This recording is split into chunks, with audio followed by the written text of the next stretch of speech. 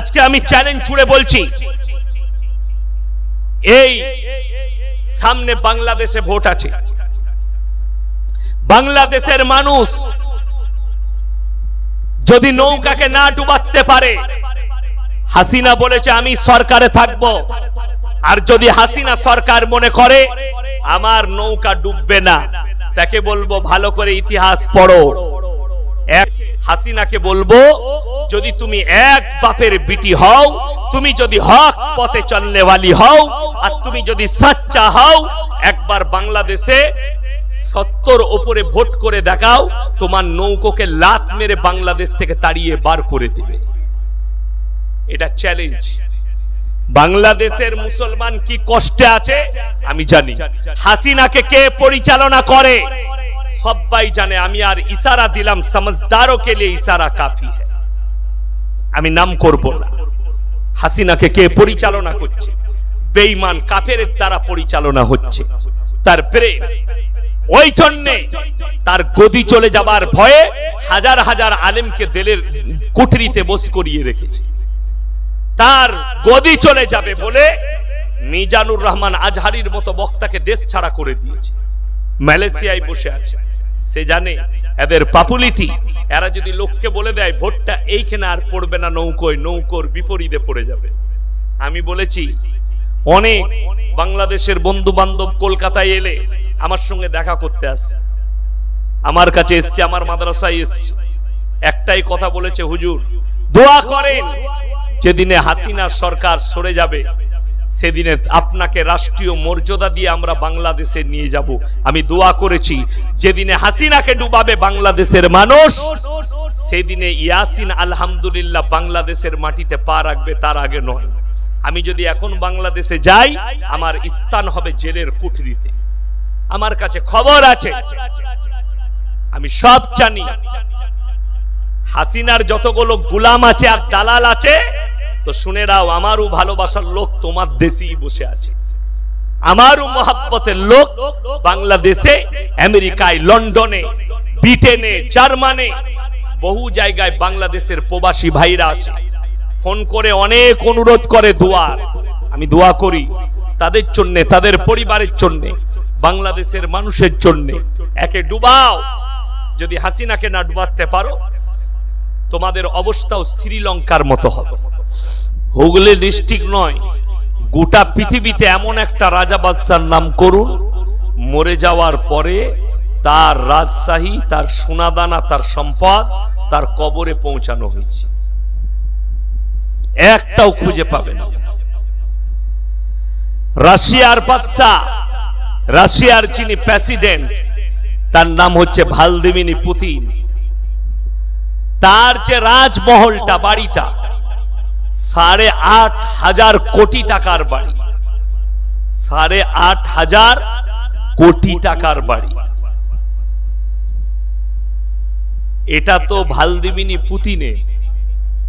ইতিহাসের পাতায় আছে। রাশিয়ার বাদশাহ এত বড় বাড়ি তৈরি করেছিল। সে বলেছিল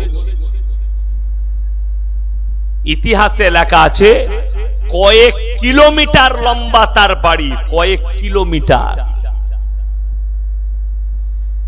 বাপের রাজত্ব দেখে, বাপের বাদশাহী দেখে, বাপের রাজশাহী দেখে, বেটা যুদ্ধ ঘোষণা করে দিলে বাপের বিরুদ্ধে, সৈন্য তৈরি করে। বাপ বেটায় যুদ্ধ হলো, দুজনেরই প্রাণ গেল। তছনছ হয়ে গেল। লাল ইটের তৈরি সেই বাড়ি। আজকে রাশিয়ায় সেই বাদশার একটা ইটের চিহ্ন পর্যন্ত নেই। আমাদের এখানে অনেক স্টুডেন্ট বসে আছে, অনেক শিক্ষাবিদ বসে আছে, অনেক শিক্ষিত বসে আছে। বলতে পারবেন, কলকাতার আগে, দিল্লির আগে মুম্বাইয়ের আগে ভারতের রাজধানী কোথায় ছিল? একটা শিক্ষিত ছেলে বলল এখনও পর্যন্ত ইতিহাস মিটেনি, জায়গা মিটেনি। রাজা কর্ণ সুবর্ণ নাম ছিল তার। মুর্শিদাবাদের জায়গাটার নাম হচ্ছে যদুপুর কর্ণ সুবর্ণ। ওটা ছিল এক যুগে ভারতের রাজধানী, রাজা কর্ণ সুবর্ণর যুগে। এখনও পর্যন্ত এরকম ছোট ছোট ইটের বাড়ি, দেওয়ালগুলো খালি একটু করে বেরিয়ে আছে, এক ফুট, দেড় ফুট, বাকি সব বাড়ি মাটির তলায় চলে গেছে। আলেকজান্ডার ভারতে যুদ্ধ করতে এসেছিলেন। এটা ইতিহাসের পাতায় আছে। সেই যুগে রাজা ছিল রাজা পুরু। আলেকজান্ডার কিন্তু অর্ধেক দুনিয়া দখল করে ফেলেছিল। যুদ্ধ করে। বড় যোদ্ধা ছিলেন আলেকজান্ডার। ভারতে আসার পরে যুদ্ধ না করে ফিরে গেছে। কেন?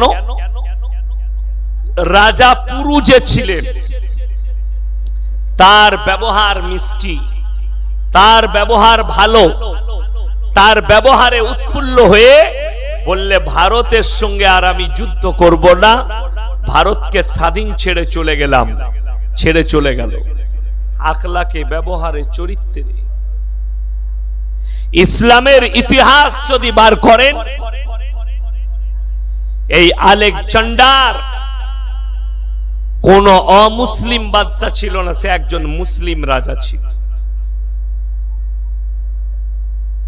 তার ডাক নাম ছিল আলেকজান্ডার। একজন মুসলিম যোদ্ধা। অর্ধেক দুনিয়া দখল করেছে, যুদ্ধ করে, কিন্তু ভারতের বেলায় ব্যবহারের কারণে, আখলাকের কারণে ছেড়ে দিয়ে চলে গেল আলেকজান্ডার। যুদ্ধ করেনি, ব্যবহার ভালো। ইসলাম এত সুন্দর। পৃথিবীর বুকে এখন যতগুলো ইতিহাসবিদ আর ভারতের যতগুলো অন্ধ ভক্ত কুত্তাগুলো চিল্লাচ্ছে, এদিকে বলবেন, ভালো করে ইতিহাস পড়। ইসলামের ইতিহাস পড়। আল্লাহর কসম করে বলছি, নবীজি সাল্লাল্লাহু আলাইহি সাল্লাম এসেছেন। পৃথিবীর মানুষ সভ্যতার অবকাশ খুঁজে পেয়েছে। জোরে বলুন, সুবহান। সভ্যতা জানতো না, বর্বরতা, অপবিত্রতা, নোংরাম, বৎকারী ওটা সমাজ ভরেছে। ওই জন্য তো যারা ইতিহাসবিদ আছে তারা জানে, আমাদের দেশে যারা শিক্ষিত ব্যক্তি আছে, হিন্দু, মুসলিম, জৈন, বৌদ্ধ, খ্রিস্টান, যারাই আছে, শিক্ষিতরা জানে পৃথিবীর প্রথম সভ্যতা মিশরের মুসলিম সভ্যতা। স্পেনের মুসলিম সভ্যতা। স্পেনটা কোনো ইহুদি দেশ ছিল না। জুন, জুলাই, আগস্ট চলে এলো। এপ্রিল আমাদের কাছে পেরিয়ে গেল। একটা আমাদের দেশে স্কুলে ছুটি হয় পহেলা এপ্রিল।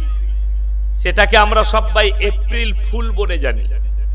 জানেন না জানেন না এপ্রিল ফুল?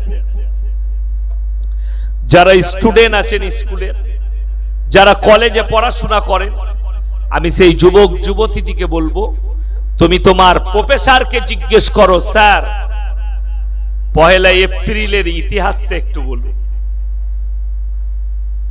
তোমার প্রফেসরের বাপের ক্ষমতা নেই, তোমার হেডমাস্টারের বাপের হিম্মত নেই, তোমাকে ইতিহাসটা শোনায় কেন? এই পহেলা এপ্রিলের ইতিহাস লেখা হয়েছে স্পেনের মুসলমানদের রক্তর পানি। রক্ত তারা লেখা হয়েছে, এটা তোমার প্রফেসরের বাপের হিম্মত নাই তোমাকে বলে শোনায়। কেন? তার লজ্জা লাগবে। দেশটা, স্পেনটা কোনো ইহুদি রাষ্ট্র ছিল না, মুসলিম রাষ্ট্র ছিল। আজও যারা তার প্রমাণ নিতে চান চলে যান পাসপোর্ট করে স্পেনে। ভিসা নিয়ে। এখনও ভালো ভালো মসজিদ মাদ্রাসা গুলো মদের বার আর বিয়ার বার আর নোংরা নিষিদ্ধ পল্লী করে রেখেছে স্পেন। জোরে বলুন নাউজবিল্লা আপনি ভাববেন না। আপনার জন্য রেডি হচ্ছে সরকার।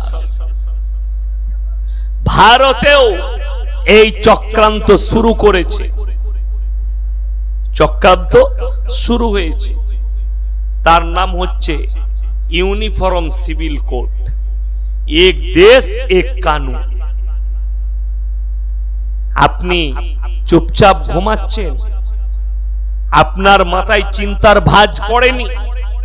তার মানে আপনি আপনার ইমানকে নিয়ে চিন্তা করেন না। আপনার কোরআনকে নিয়ে চিন্তা নেই। নবীজির আখলাখ নিয়ে চিন্তা নেই।